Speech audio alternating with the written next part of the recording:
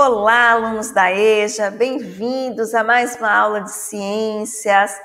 A aula de hoje tem como tema continuando a revisar direitos e cidadania para o estágio 5, tá? Sou a professora Karine Brandão, professora de ciências.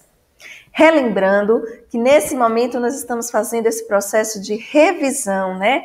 Re revisitando esses conhecimentos, esses conteúdos que nós fomos, né? É, caminhando e aprendendo ao longo desse período letivo, tá? E então eu trago aqui essa revisão dos direitos e cidadania. E o que que isso tem a ver com ciências, né? Quais são esses direitos e, e é, esse exercício da cidadania que nós podemos executar através dessa nossa é, compreensão dos nossos direitos e deveres enquanto cidadãos. E aí, então, eu trago aqui a figura de Luísa Bairros, né? Foi uma das vozes mais respeitadas no combate à discriminação racial no Brasil e compôs o Movimento Negro Unificado, MNU.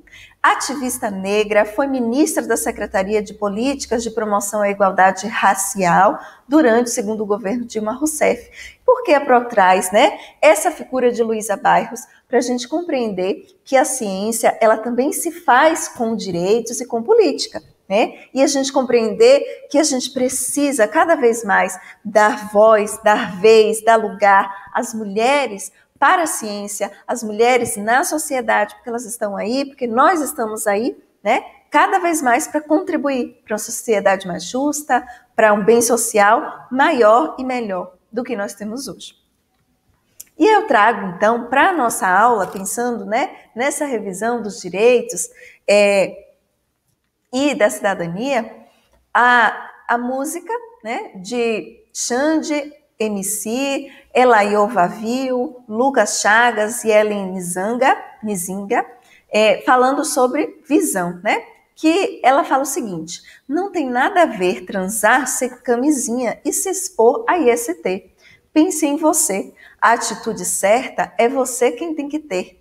Tente entender você pode transar, mas também pode, mas também se proteger.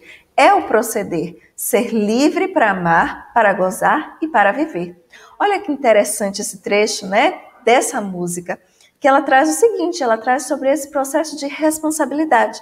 Nós precisamos ser responsáveis pelas escolhas e pelas decisões que nós tomamos enquanto pessoas, né?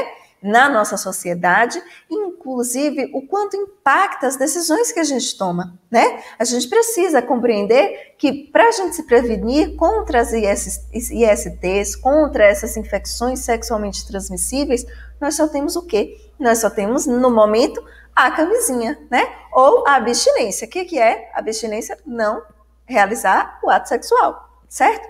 Então, para que a gente possa se prevenir, para que a gente possa cuidar do nosso corpo, inclusive cuidar do outro que está é, conosco, a gente precisa o quê? Fazer boas escolhas. E existe esse movimento, né? De boas escolhas, que é eu preciso cuidar de mim. Porque eu só consigo cuidar do outro quando eu cuido de mim.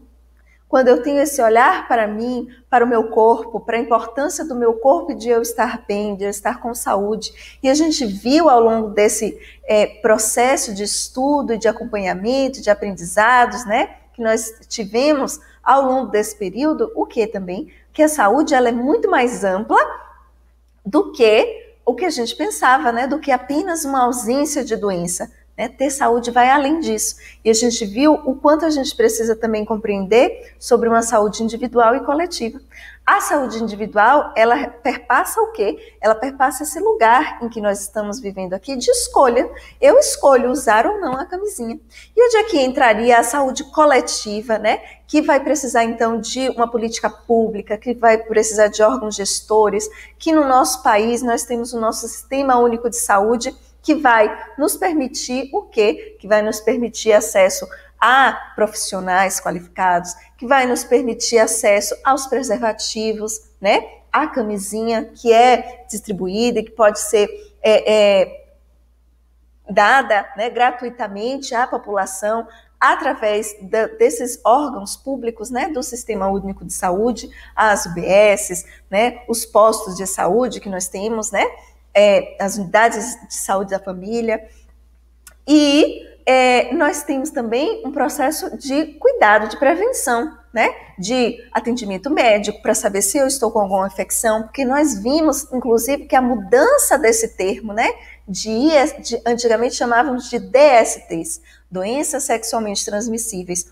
Hoje nós chamamos de quê? De ISTs. Por que, que nós chamamos de ISTs? Porque nós já sabemos que essas é, nós temos infecções sexualmente transmissíveis, uma ampliação desse conceito, porque muitas vezes as é, essas infecções elas não são percebidas, né? Elas não são visivelmente percebidas. Elas, vamos dizer assim, elas ficam silenciadas. E isso é um, um grande risco, porque não existe na cara, no RG, né, de ninguém que ela tem uma IST ou não ou que nós mesmos, se a gente não fizer um cuidado de higiene, se a gente não tiver um acompanhamento médico periódico, se a gente não fizer é, o uso dos, do preservativo, né, para fazer é, ter atitudes responsáveis conosco e com o outro que está com a gente, o que, que acontece? Se a gente não tem todo esse cuidado, a gente também pode ter alguma IST e nem, IST e nem saber, né? Então, todo esse processo precisa de nós compreendermos os nossos direitos, mas também os nossos, os nossos deveres, as nossas responsabilidades, tá? E essa música ela traz um pouco sobre esse processo, né? Esse proceder, esse proceder de é, ser livre para amar, para gozar e também para viver. E esse proceder ele requer responsabilidade. Ele requer também escolhas, né? Assertivas e conscientes. E aí, quais são os objetivos da nossa aula? Né? Compreender o corpo como espaço individual, que é resultado de uma construção biológica, social e histórica, e identificar os principais sintomas, modos de transmissão e tratamento de algumas ISTs, com ênfase na AIDS, e discutir estratégias e métodos de prevenção. Lembrando aqui que todos esses objetivos já foram trabalhados, né? Nós já estudamos sobre eles, mas agora a gente está fazendo um remember, né? A gente está revisando aqui, revisitando tudo que a gente aprendeu durante esse período. E um terceiro objetivo é selecionar argumentos que evidenciem as múltiplas dimensões da sexualidade humana, biológica, sociocultural, afetiva e ética, e a necessidade de respeitar, valorizar e acolher a diversidade de indivíduos, sem preconceitos baseados nas diferenças de gênero. E então eu trago essa essa chargezinha aqui, né? Avanços do HIV. Tem um cupido e aí tem aqui um outro anjinho que tem o quê? Um preservativo, né? Uma camisinha. E ele diz o quê? Esqueça as flechadas. O pessoal está precisando mesmo é de preservativos. O que, que acontece? Nós estamos tendo, nos últimos anos, apesar de todo o conhecimento, né, apesar de todo um processo de, de estudo, de já sabermos da importância dos preservativos, das camisinhas, de é, saber da necessidade que nós temos, né, de nos cuidarmos, de, de cuidar da nossa saúde, de nos, pre nos prevenir e prevenir o outro, né, de qualquer IST, principalmente da, do HIV, nós vemos ao longo dos, estamos vendo ao longo dos anos o aumento dos, do número de pessoas com HIV, devido a quê? Devido ao não, à não utilização dos preservativos. Então, é esse chamado aqui, né? nessa charge de esqueça as flechadas, esqueça o amor. A gente precisa de preservativo, porque se amar, né, respeitar o nosso corpo, respeitar é, a nossa saúde e a saúde do outro e o corpo do outro é necessário. É também amor se prevenir, é também amor se cuidar. E agora a gente vai resolver algumas questões no Jamboard, certo? para a gente revisar e relembrar, né, revisitar algumas ISTs, algumas infecções sexualmente transmissíveis que nós é, conhecemos, né, ao longo das nossas aulas sobre direitos e cidadanias, aqui voltado para as ciências. E aí, então, é, nós começamos, né, essa revisão também com a questão do enseja do ano de 2017, falando sobre as hepatites. Olha o seguinte, olha o que ela fala. As hepatites B ou C são doenças infecciosas que ocorrem somente em humanos. Então, elas são doenças, vamos dizer assim, exclusivas dos humanos, sendo um grave problema de saúde pública na atualidade. Manicures e podólogos podem se contaminar com os vírus dessas doenças no dia a dia. Esses profissionais devem seguir algumas recomendações básicas de higiene e de procedimentos, evitando assim riscos à saúde. Então, olha que interessante. Apesar, né, da hepatite B e C, ou C, elas serem consideradas doenças, né, infecções sexualmente transmissíveis, então que podem ser transmitidas através do sexo sem preservativo, elas também estão sendo um problema e, e chama-se atenção aqui nessa questão a que as manicures e os podólogos. Então, a gente também já está pensando aqui na saúde do trabalhador, né? Por quê? Porque essas manicures e podólogos, às vezes, quando vai, né, no procedimento de, de limpeza da unha, né, e de processo de, do cuidado com as unhas, às vezes tem um corte. E esse sangue, esses fluidos, né, podem também transmitir o contato com esses fluidos, com esse sangue especificamente, pode transmitir a hepatite B ou C para a manicure ou podólogo. E aí, quais são essas, esses cuidados básicos de higiene de procedimento? Né? E que a PRO também começa a chamar a atenção aqui. É importante e o mais adequado é que quando a gente for à manicure ou ao podólogo, a gente leve né, o nosso alicate, a nossa tesourinha. Por quê, Pro?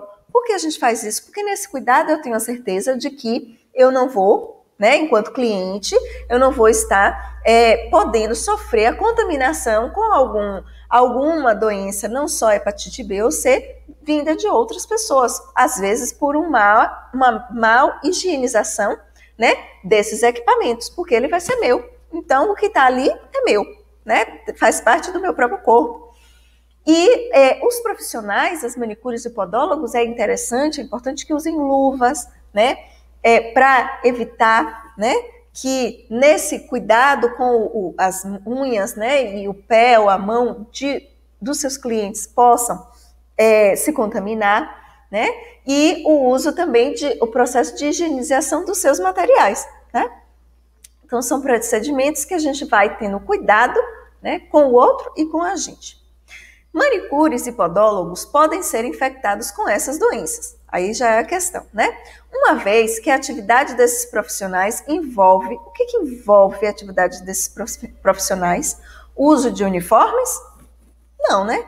Manipulação de objetos cortantes? Hum, provavelmente sim. Emprego de substâncias químicas também, né? Se a gente pensa, por exemplo, da acetona, né?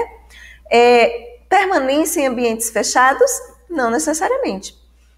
Então, qual a melhor opção, a melhor alternativa que a gente tem aqui para pensar nessa contaminação que esses, essas manicures e podólogos podem ter?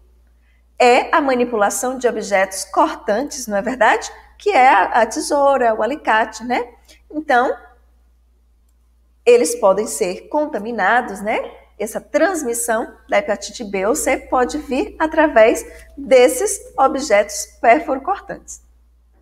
Uma outra coisa que a gente tem que relembrar aqui: a hepatite B ou a hepatite C, elas são doenças que podem ser transmitidas através do ato sexual sem preservativo, por isso que elas são consideradas ISTs, e elas são doenças virais, ou seja, causadas por vírus, e que vão atacar qual órgão especificamente? Vão atacar é, principalmente o fígado, tá? Por isso que são chamadas hepatites, porque vão atacar esse sistema hepático, tá? Vamos seguindo então? A nossa próxima questão diz o seguinte: a campanha de vacinação contra o HPV é uma ação de saúde pública eficaz contra os tipos de vírus mais comuns causadores de lesões que podem originar câncer de colo de útero. A transmissão do vírus se dá pelo contato sexual e o público-alvo inicial da campanha eram meninas que não tinham iniciado a vida sexual. Por que, Pro? Porque esse vírus, muitas vezes, a maioria das vezes, ele é assintomático. Quando ele infecta né, o corpo de meninas e meninos, né? É, das pessoas, ele vai ser assintomático. O que quer dizer isso? Não vai causar é, é, sintoma nenhum. A pessoa nem vai perceber que ela está com o vírus do, HB, do HPV, né? Normalmente o próprio corpo, nosso próprio corpo reage e é, consegue combater esse vírus. Mas existem muitos casos em que esse vírus, né, algumas variantes desse vírus podem causar é, originar o câncer de colo de útero nas mulheres, principalmente. E aí, qual é a, foi a medida, então? Vamos, como não se sabe, não se sabia, né? Então, o público-alvo inicial das campanhas eram meninas que não haviam iniciado a vida sexual. Atualmente, a gente tem é, estipulado para meninas e meninos é, de 13 a é, 14 anos. Se eu não me engano, é esse período, essa faixa etária para vacinação gratuita nos postos de saúde, que é um processo de prevenção. Lembra sempre, vacina é prevenção, não é cura, né? Vacina é prevenção, é diferente de medicamento, né? Que a gente vai tratar, matar o microorganismo e se curar da doença. A, a vacina ela é utilizada para a gente antes de ter o contato com a doença. Então, por isso que ela é preventiva, né? E aí, essa ação preventiva é uma ação de saúde pública com o público-alvo inicial aqui das meninas que não haviam iniciado a vida sexual. Qual é o benefício dessa ação de saúde pública para as meninas?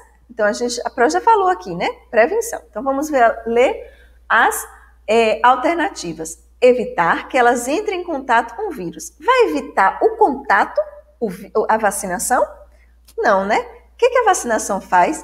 Ela vai fazer um processo de prevenir. É, se a pessoa entrar em contato com o vírus, o corpo né, já tem anticorpos, já tem, vamos dizer assim, um sistema de defesa que vai conseguir atacar né, esse órgão, esse é, ser invasor que é esse vírus, no caso do HPV destruir os vírus que já estejam em seus organismos, ou seja, uma pessoa que já está infectada com HPV, é, vai ter algum efeito a vacina? Não, certo? Então, nem a letra A, porque ele não vai evitar o contato, e nem a letra B, porque ele é que já estejam em seus organismos. Então, essa pessoa ela já está contaminada. Impedir que as lesões causadas pelo vírus originem um câncer. Não, né? Por quê? Porque a, prevenção aqui é para combater o HPV e não as lesões do que podem gerar um câncer, tá? Só nos resta então qual a alternativa? A letra D, fazer com que desenvolvam anticorpos, que é isso que a vacina faz, antes do contato com o vírus, certo? Agora vamos para a nossa próxima questão sífilis aumenta em 13 e 14 estados, desculpa, em 13 de, de 14 estados com dados disponíveis sobre a doença.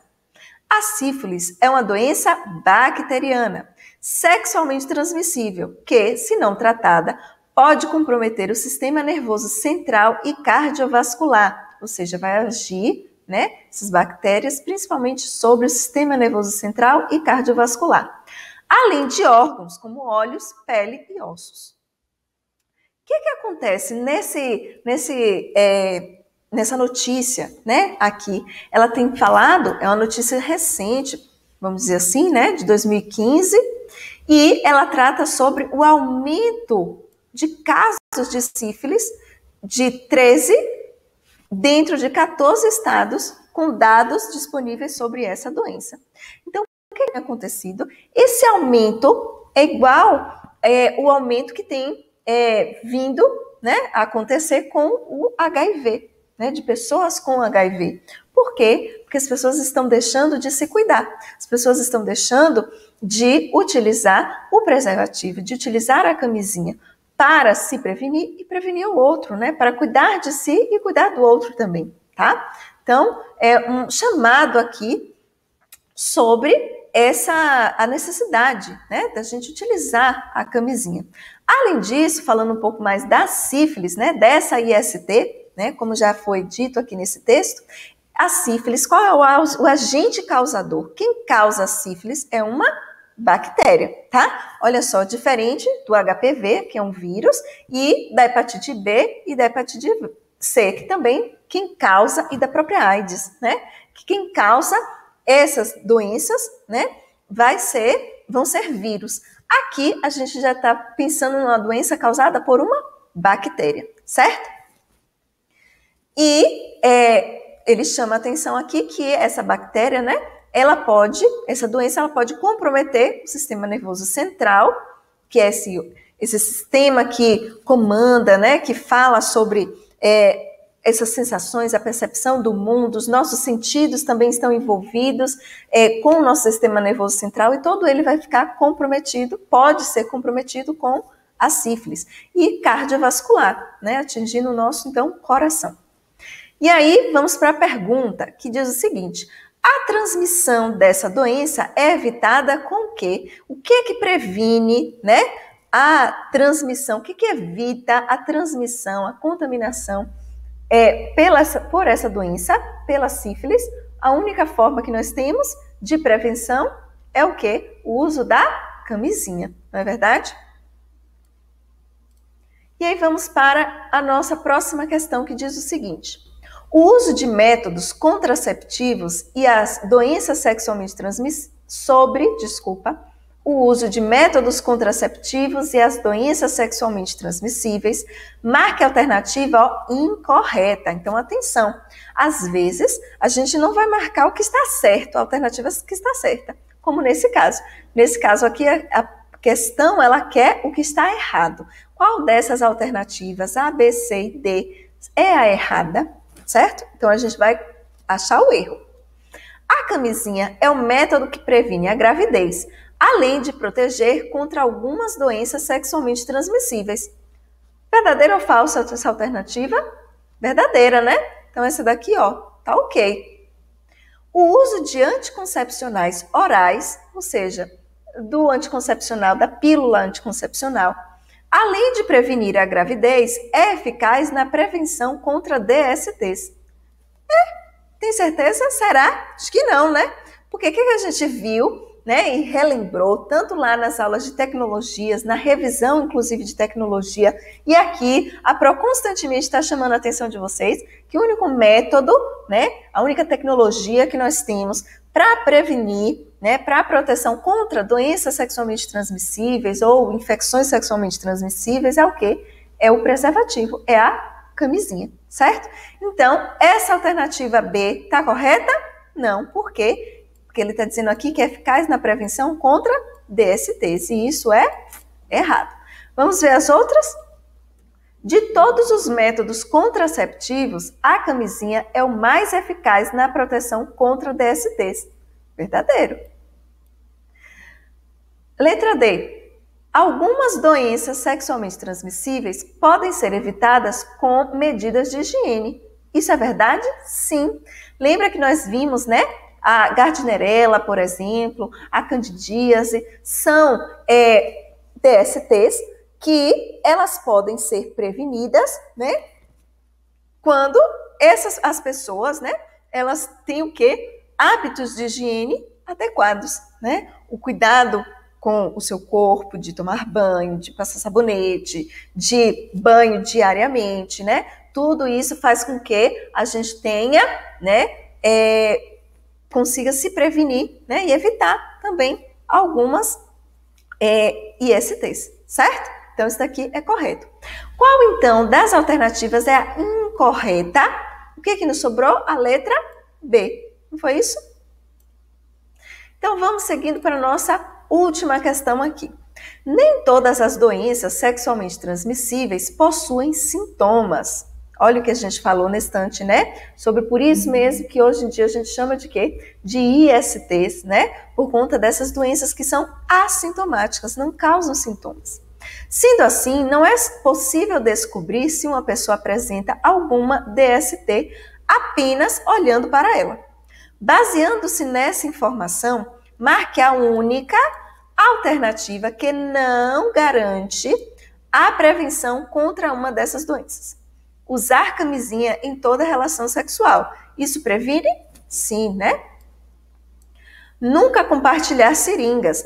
o que, que ele está chamando aqui de compartilhar seringas? Porque a gente viu que muitas DSTs ou ISTs, elas vão ser é, transmitidas através de pessoas que, no uso de drogas, normalmente drogas ilícitas, né, não, não legalizadas, elas compartilham as, as seringas. E aí, nesse compartilhar das seringas, como a seringa ela vai ter contato né, com os fluidos, principalmente com sangue, né? Se uma pessoa des, é, tem uma IST, ela acaba e compartilha a seringa com outras, ela vai acabar transmitindo essa IST para outras pessoas. Então, nunca compartilhar seringas, sim, é uma forma de prevenção. Não compartilhar objetos de uso pessoal, como lâminas de barbear. Isso também é uma forma de prevenção? Sim, porque a lâmina de barbear, para mulheres ou para homens, né, ela pode, é, em algum momento, a, a, a, pessoa no uso né, dessa lâmina, ela pode se cortar. Então, nesse processo de corte, ela pode, então, é, tá ali deixando em contato, né? E se ela compartilha essa lâmina de barbear com outro, se ela tiver uma IST, ela pode acabar transmitindo para outras pessoas. Por isso que objetos de uso pessoal, como lâmina de barbear, como escova de dente, né, como sabonete em barra, são objetos de uso pessoal que não devem ser compartilhados, tá? Então, não compartilhar objetos de uso pessoal, ok, verdade. Não compartilhar roupas íntimas, também. Por que, minha pró? Também, né? Porque a gente sabe que as mulheres, por exemplo, elas naturalmente elas vão liberar né, um musco, murco, uma, vi, uma viscosidade. E essa viscosidade é, ela vai, às vezes, ser depositada ali na calcinha, por exemplo, né? Nessa roupa íntima. E isso é. Lógico que todo mundo tem que lavar suas roupas, suas peças íntimas, ter toda a higiene, mas esse compartilhamento, então, ele também deve ser evitado, tá? Porque todos esses fluidos, eles podem ser é, é, objeto de transmissão de alguma IST. Então, não compartilhar roupas íntimas. Ok. O que nos sobra aqui? Vocês viram que essa questão ela tem cinco alternativas, tá? O que, que nos sobra aqui? Utilizar sempre métodos comportamentais nas relações sexuais. Então, utilizar, primeiro, cuidado sempre com essas questões que tem sempre, nunca, né? Jamais. Cuidado, normalmente elas são a alternativa errada. Além disso, ele está dizendo que os métodos com, com, comportamentais, ou seja, o método da tabelinha, do coito interrompido, né? Eles vão ser métodos que vão evitar DSTs. Não, né, minha gente? Então, qual é a única alternativa que não garante a prevenção contra é, uma dessas doenças sexualmente transmissíveis? A alternativa é, não é isso? Tranquilo até aqui? Agora que nós já revisamos um pouco mais, né, sobre as ISTs, a partir dessas questões, né, que nós fomos resolvendo aqui ao longo dessa aula, nós já temos algumas, algumas condições né, de ter relembrado, de dúvidas terem aparecido, né? E aí, se as dúvidas aparecerem, vocês já ficam atentos, tá? Porque para buscar mais, para tirar outras dúvidas, para buscar com o professor de vocês, para, inclusive, entrar em contato comigo se tiver mais dúvidas, quiser saber mais, né? Algumas indicações. Para finalizar nossa aula, então, resumindo, nós vimos o quê? Direitos sexuais e reprodutivos, quando a gente foi falando, né, que dizem respeito a muitos aspectos, das, aspectos da vida, o poder sobre o próprio corpo, a saúde, a liberdade para a vivência da sexualidade, a maternidade e a paternidade, e principalmente nós vimos e revisamos o quê? As ISTs, infecções sexualmente transmissíveis. Agora é a sua vez de tirar dúvidas, com o seu professor, de fazer mais atividades, né, de buscar mais informações também, sempre lembrando de buscar informações confiáveis, né? E eu fico por aqui, agradeço, peço que se cuidem, bebam água, usem máscara. Qualquer dúvida, entre em contato comigo pelas redes sociais. Tchauzinho!